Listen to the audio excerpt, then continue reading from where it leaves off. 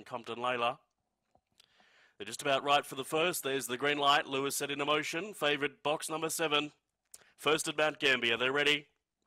And away they go, and Sean's Matilda was about second or third last away. Winning the start was Minari Ace. Aston Kiara goes up underneath it, though, to lead, followed by Swift Gift, and also there is Sean's Matilda tracking forward. Compton Layla's next to last. Billy Broncos at the rear as they come to the corner, and Aston Kiara leads narrowly from Sean's Matilda, working up to the outside. It's Sean's Matilda and Aston Kiara. Aston Kiara on the inside. Sean Matilda over the top, though. Got it in the last stride. Sean's Matilda from Aston Kiara. Third home will be Swift Gift, and then Compton Layla, Minari Ace, uh, Billy Bronco just ahead of those, and the time was 23 and 40.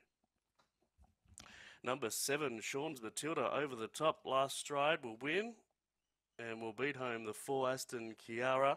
The two was in for third, Swift Gift.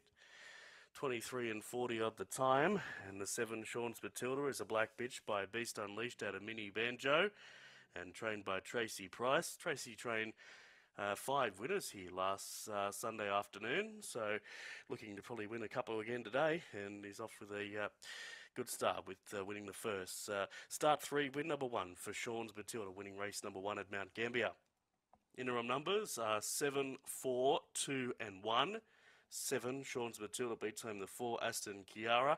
Third to the 2, Swift Gift, and fourth to the 1, Billy Bronco. A neck was the winning margin with three lengths separating second and third. A neck by three lengths, and the interim numbers seven, four, two, and 1.